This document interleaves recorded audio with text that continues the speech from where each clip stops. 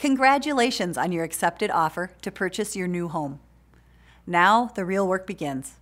But don't worry, having me and your real estate consultant as your skilled, experienced, and focused consultants means that you'll be well taken care of. This next stage of your purchasing process normally takes from 30 to 45 days, depending on factors such as the dates in your purchase agreement and the type of financing we're using. At the initial consultation, you received a list of the 88 types of turbulence that you may experience during your transaction. I highly recommend that you put this list on the front of your refrigerator or in a location that's easily accessible so you can refer to it often. With 14 different professionals involved in this transaction, my role is to handle any turbulence that we may encounter and keep your turbulence to a minimum, just like a pilot navigating your flight. The next step is for us to get together and review and sign your loan disclosures, go over the final estimated numbers, and place orders for both the appraisal and title work to be completed.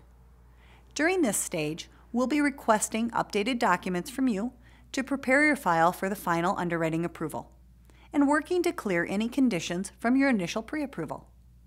We'll be sure to let you know what we need you to do when we meet.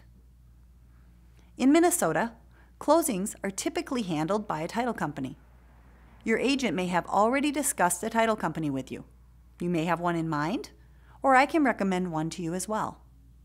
In Minnesota, you as the buyer get to choose the title company that will handle your closing.